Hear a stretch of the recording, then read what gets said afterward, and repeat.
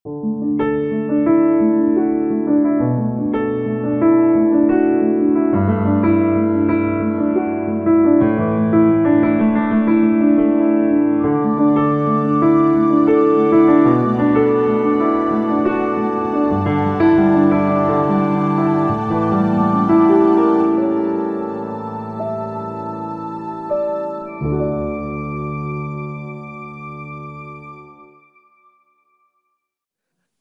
bicara tentang bagaimana kita harus hidup, kita harus melewati hari-hari kita.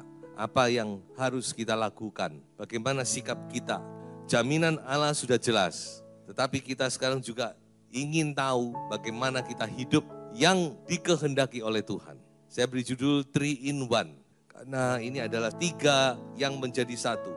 Dan tidak jauh-jauh ayatnya, yaitu di 1 Tesalonika pasal yang kelima ayat yang ke-16 sampai ayat yang ke-18. Bersukacitalah senantiasa, tetaplah berdoa, mengucap syukurlah dalam segala hal, sebab itulah yang dikehendaki Allah di dalam Kristus Yesus bagi kamu. Tadi sudah saya katakan bahwa jaminan Allah itu sudah pasti, sudah jelas, tapi kita juga mau tahu sekarang bagaimana kita harus hidup. Bagaimana kita harus melewati hari-hari kita. Yaitu dengan tiga hal ini. Bersuka cita, bersyukur, dan berdoa. Ini sudah satu paket lengkap ini saudara-saudara. Dan kalau kita melewati dengan tiga hal ini saya yakin cerah bagi kita semua. Sebuah tahun yang kita bisa nikmati di dalam anugerah Tuhan. Sebelum saya melihat lebih jauh, kita perlu mengerti bahwa surat 1 dan 2 Tesalonika ini banyak berbicara tentang kedatangan Tuhan yang kedua kali. Jadi surat ini banyak membahas tentang kedatangan Tuhan, tentu perspektifnya berbeda. Satu Tesalonika dengan dua Tesalonika itu perspektifnya berbeda.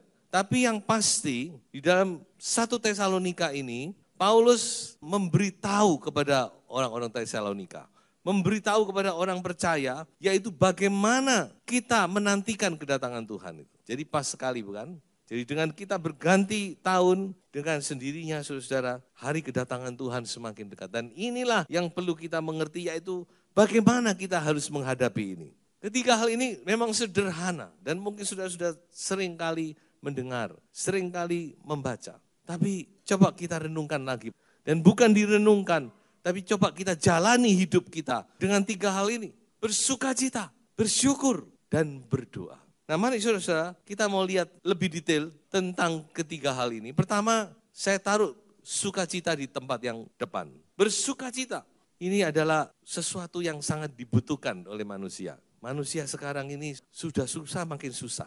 Sehingga kehidupan ini sekarang, makanya saudara jangan kaget. Orang sekarang ini mudah marah, mudah naik darah, Nanti di jalanan senggolan dikit aja sudah terjadi perkelahian, ya bahkan sampai terjadi pembunuhan. Waduh, sudah, sudah ngeri. Kenapa? Karena manusia itu kehilangan sukacita, sudah. Tidak ada lagi sukacita di dunia ini, sudah. Kalaupun ada itu hanya sementara dan semu, hanya sementara saja. Di mana sukacita itu bisa ditemui? Yaitu di dalam gereja Tuhan, amin. Di dalam kehidupan anak-anak Tuhan. Karena kehidupan kita ini tidak tergantung dengan segala situasi. Sukacita yang dari Tuhan itu tidak dipengaruhi oleh segala sesuatu. Entahkah kita enak, nyaman atau tidak enak. Entahkah kita lagi di atas atau lagi di bawah. Entahkah kita lagi sehat atau kita lagi susah, lagi sakit. Maka sukacita yang dari Tuhan itu tetap akan ada dalam hidup kita. Makanya dikatakan tadi bersukacitalah senantiasa. Paulus dalam kitab Filipi adalah kitab yang penuh dengan sukacita. Padahal dia dalam keadaan sebagai tawanan. Dia dengan keadaan dibelenggu, tidak punya kebebasan, tidak nyaman. Tetapi Paulus menulis surat sukacita. Dan dia berkata, ayo bersukacita, bersukacitalah dengan aku. Paulus mengajak kita bersukacita. Dan ayat ini sekali lagi berkata, bersukacitalah senantiasa. Rejoice always. Bersukacitalah senantiasa dalam keadaan situasi kondisi apa pun juga. Nah itulah sebabnya maka kita harus mendasarkan sukacita kita ini kepada dasar yang stabil. Kalau kita mau bersuka cita always, mau senantiasa, maka sukacita kita ini dasarnya harus stabil, tidak goyang. Sebab kalau sukacita kita dasarnya adalah karena kita naik daun, karena bisnis kita sukses, karena kita dipromosikan, maka semua itu tidak akan bisa bertahan. Karena semua yang di dunia ini sifatnya labil, mudah goyah. Makanya itu sukacita kita ini harus didasarkan kepada satu dasar yang teguh, yang bisa kita andalkan, yang tidak berubah, yang stabil. Makanya saya ingin membawa saudara kepada satu dasar yang stabil itu. Mari kita baca di dalam Mazmur 33 ayat 1 sampai ayat yang keempat. Bersorak-soralah hai orang-orang benar dalam Tuhan. Sebab memuji-muji itu layak bagi orang-orang jujur. Bersyukurlah kepada Tuhan dengan kecapi. Bermasmurlah baginya dengan gambus sepuluh tali. Nyanyikanlah baginya nyanyian baru. Petiklah kecapi baik-baik dengan sorak-sorai. Perhatikan ayat yang keempat. Sebab firman Tuhan itu benar, segala sesuatu dikerjakannya dengan kesetiaan. Lompat ayat 9. Sebab dia berfirman, maka semuanya jadi dia memberi perintah, maka semuanya ada. Tuhan ngomong, jadi, jadi. Ada, ada. Ini kelihatannya seperti sepele, saudara. Waduh, bersuka cita, dikatakan ayat 4 tadi, kita harus bersorak-sorai, bersuka cita memuji Tuhan, sebab firman Tuhan itu benar. Dan dikerjakan Tuhan dengan setia. Apa hubungannya dengan sukacita saya? Coba kita berpikir sebaliknya, saudara. Kalau seandainya firman Tuhan ini yang saudara dan saya baca, yang kita percayai, yang kita andalkan, yang menjadi gantungan kita, bisa ya bisa enggak. Ya mungkin jadi mungkin tidak. Kira-kira bagaimana? Kalau firman Tuhan ini ya bisa mungkin, ya tergantung. Terjadi ya bisa, bisa enggak juga. Kira-kira bagaimana kita? Saya pikir kalau saya, saya enggak bisa menghadapi hidup. Apalagi yang mau diandalkan? Kalau firman Tuhan ini tidak benar, tidak stabil, tidak bisa diandalkan lagi, lalu apa lagi alasan kita untuk hidup, saudara-saudara? Tidak ada. Tidak ada yang bisa kita andalkan lagi. Tidak ada lagi yang bisa membuat kita sukacita. Ketika kita dalam gelap, ketika kita terpuruk, ketika kita jatuh, yang bisa membuat kita sukacita adalah janji Tuhan. Haleluya. Karena janjinya ya dan amin. Dan tidak pernah gagal, saudara-saudara. Sehingga saudara dalam keadaan terpuruk saudara sekalipun. Ketika saudara membaca firman Tuhan, hati saudara bisa bersuka cita. Karena saudara terima sebuah pengharapan yang pasti. Itu maksudnya. Makanya firman Tuhan ini coba saudara renungkan. Sebab Tuhan katakan, bersorak-soralah. Mengapa? Karena firman itu benar dan dikerjakan Tuhan dengan setia. Inilah yang saya katakan tadi, dasar yang stabil itu. Kalau saudara mendasarkan sukacita saudara kepada hal-hal dunia, mungkin bisa you can become excited, but just for a moment. Saudara bisa excited, saudara bisa bergairah, tapi hanya hilang. Tidak ada yang di dunia ini yang saudara bisa andalkan. Besok mau terjadi apa? Tidak tahu. Mau apa lagi? Makanya saudara kita harus punya sandaran yang pas dan pasti. Sandaran kita adalah apa? kesetiaan Tuhan dalam menggenapi firman-Nya. Amin, saudara. Inilah sumber sukacita kita. Sehingga dalam keadaan apa pun kita bisa always rejoice. Selalu bersukacita. Karena firman Tuhan itu ya dan amin. Jadi itu yang pertama. Bersukacitalah. Kenapa kita bersukacita? Karena kita punya firman yang tidak pernah gagal. Firman Tuhan itu benar. Karena Tuhan Allah yang setia dia yang menggenapi firman-Nya. Saya itu pegang janji Tuhan dalam keadaan apa pun juga. Yang kedua, yaitu bersyukur. Jadi bersuka cita, kemudian bersyukur. Dua ini sebenarnya satu paket seperti mata uang bolak-balik. Karena orang yang bersyukur biasanya bisa bersuka cita dia. Orang yang bersuka cita karena dia adalah orang yang bisa mensyukuri segala keadaan. Tuhan berkata, mengucap syukurlah dalam segala hal. Mengapa kita mengucap syukur? Ya tentu karena Tuhan kita baik, kan? So itu kita belajar mengucap syukur. Lawan dari mengucap syukur itu apa? Adalah bersungut-sungut. Selalu tidak puas. Selalu aja ada omelan, tidak puas. Komplain. Nah ini ini hati-hati ini. Ini kelihatannya cuma begitu saja. Tapi ingat, bangsa Israel itu gagal masuk Kanaan karena dia tidak pernah mengucap syukur kepada Tuhan. Cuma sekali saja, waktu mereka baru dilepaskan, melewati Laut Tebrau, waduh mereka bersuka cita menari di situ dengan rebana dikatakan. Mereka mengucap syukur luar biasa. Tapi setelah itu 40 tahun mereka tidak pernah bersyukur. Padahal tiap hari mereka dipelihara oleh Tuhan dengan mana? Itu makanan malaikat kata Mazmur. Itu mujizat bukan? 40 tahun di padang gurun tidak pernah kurang makan, tidak pernah kurang minum. Kurang lebih 2 juta orang. Tapi mereka tetap tidak bisa mensyukuri, bukan? Sebab itu kita harus belajar bersyukur, saudara. Dunia mengatakan bahwa ucapan syukur itu energi positif. Ini kata dunia. Dunia sudah mengakui kalau kita mengucap syukur itu bagaikan energi positif yang kita alirkan dalam setiap situasi, kondisi kita. Dan memang benar, tidak salah. Karena memang itu yang Tuhan mau. Walaupun cara penyampaian mereka dengan energi positif. Tapi memang itu terjadi saudara-saudara. Ketika kita mengucap syukur, maka seolah-olah kita nyalakan lampu.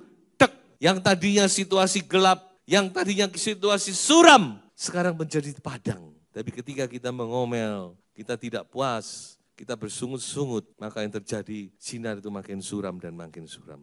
Oleh sebab itu firman Tuhan berkata bersyukurlah. Mengucap syukurlah dalam segala hal.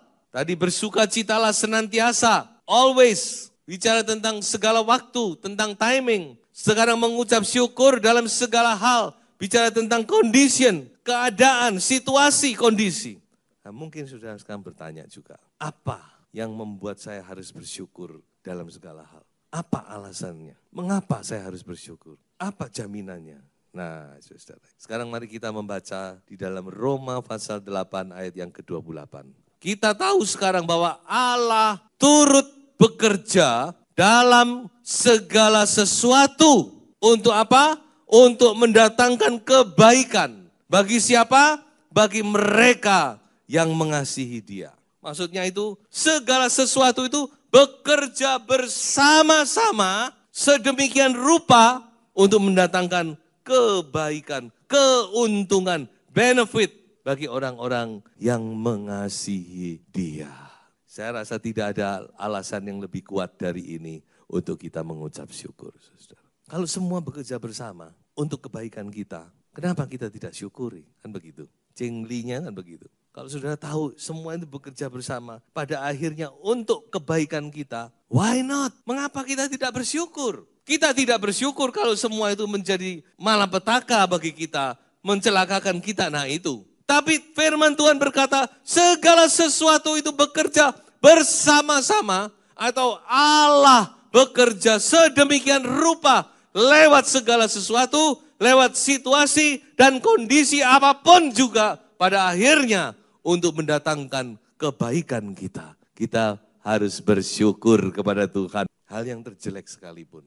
Coba saudara renungkan sejenak. Adakah hal yang saudara anggap paling parah yang terjadi dalam hidupmu dan engkau sudah lewati itu? Coba renungkan. Maka engkau akan melihat dalam hal itu ternyata Tuhan bekerja untuk kebaikan kita. Saudara. Sebab itu firman Tuhan berkata, mengucap syukur dalam segala kondisi in whatever circumstances, dalam keadaan apa pun juga, kita harus mengucap syukur. Dan yang terakhir, yang ketiga adalah tetaplah berdoa. Kata tetap itu menandakan bahasa saudara sedang berdoa. Amin. Saya percaya saudara sedang berdoa untuk sesuatu. Saudara sedang merindukan sesuatu dan saudara sedang mendoakan sesuatu. Dan firman Tuhan berkata, tetaplah berdoa. Maksudnya jangan putus asa, jangan berhenti. Karena Tuhan itu mendengar doa kita. Karena doa saudara dan saya itu tidak sia-sia. Makanya firman Tuhan berkata, tetap berdoa. Bapak kita itu adalah Bapak yang how much more. Yang lebih-lebih lagi dia mau menjawab doa. Dalam Matius pasal 7. Dikatakan kalau Bapak manusia yang jahat ini, kita ini dalam pandangan Tuhan jahat. Karena apa? Karena tidak sesuai dengan standarnya dia. Saya bukan bicara tentang benar nggak benar sekarang. Kalau benar itu karena iman. Tapi berbicara tentang hakikat kita, tetap kita ini Tuhan Yesus ngomong, kamu yang jahat aja tahu memberi yang terbaik. Apalagi dikatakan, how much more your father in heaven. Apalagi Bapakmu yang di surga. Dan itu didahului dengan sebuah ayat yang jaminan yang luar biasa. Di dalam Matius pasal 7 dikatakan ayat yang ketujuh, mintalah maka akan diberikan kepadamu, carilah maka kamu akan mendapat, ketoklah maka pintu akan dibukakan bagimu. Lalu dikatakan ayat 8, karena setiap orang, perhatikan, saya senang sekali dengan perkataan ini. Setiap orang, artinya Tuhan tidak beda-bedakan. Setiap orang yang minta menerima. Setiap orang yang mencari mendapat. Setiap orang yang mengetok pintu akan dibukakan baginya. Ini jaminan Tuhan bukan? Tuhan adalah Tuhan yang mendengar dan menjawab doa saudara. Tentu pergumulan itu tidak akan selesai saudara. Selama kita hidup di dunia ini kita akan menghadapi ya banyak perubahan, banyak permasalahan. Tapi firman Tuhan berkata tetaplah berdoa. Atau dengan lain kata doakan, berdoalah. Bersukacitalah bersyukurlah dan berdoalah. Lengkap. Mari kita hadapi tahun ini dengan ketiga hal ini, saudara. Bersuka cita dan kita tetap mengucap syukur dan dalam segala keadaan kita berdoa. Amin, saudara. Karena Tuhan kita Allah yang hidup dan berkuasa. Dia adalah Bapak yang baik. Saya akan akhiri dengan sebuah ayat di dalam Filipi pasal 4 ayat yang ke-6 ayat yang ke-7. Janganlah hendaknya kamu khawatir tentang apa pun juga. Tetapi nyatakanlah dalam segala hal keinginanmu kepada Allah dalam doa dan permohonan dengan ucapan syukur. Damai sejahtera Allah yang melampaui segala akal akan memelihara hati dan pikiranmu dalam Kristus Yesus. Tuhan Yesus memberkati. Haleluya.